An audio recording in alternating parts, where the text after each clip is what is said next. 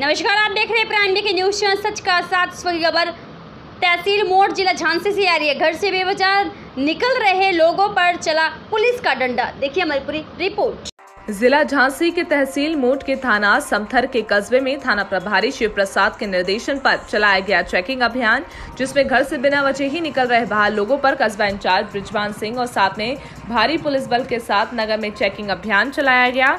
साथ ही साथ ये अभियान अग्गा बाज़ार, चोपड़ बाज़ार में वाती चौराहा पर चलाया गया है, जिसमें फालतू घूम रहे लोगों को समझाया गया है और कहा गया कि अपने घर से तभी निकलें जब बहुत ही ज़रूरी काम हो। इस मौके पर कांस्टेबल नरेश फौजदार, महिला कांस्टेबल जूली, दीप शिखा, प्रियंका संतोषी और समस्त पुलिस स्टाफ मौजूद था। जिला झांसी के मोट तहसील से संवाददाता शुभम त्रिपाठी की रिपोर्ट।